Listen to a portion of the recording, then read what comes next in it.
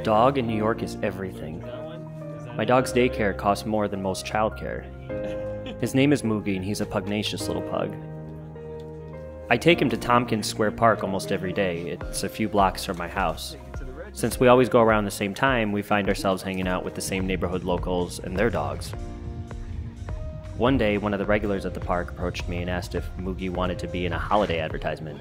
It turned out she'd worked for Amazon's marketing department. You don't turn down those type of opportunities in New York.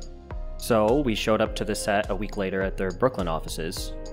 Having just had my first small taste of success at the indie level, I was a little starstruck to see that the only other dog and owner on set were Katrina Bowden from 30 Rock and her pup.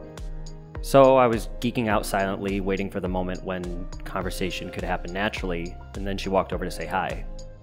It was probably because it's more awkward to stay quiet when you're the only two people on a set not doing anything. I had to ask if she was going to be in the ad with Moogie, and she just smiled and said, No, but my dog is. I love this city.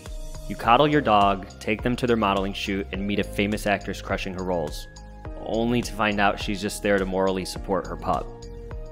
Where else but in New York?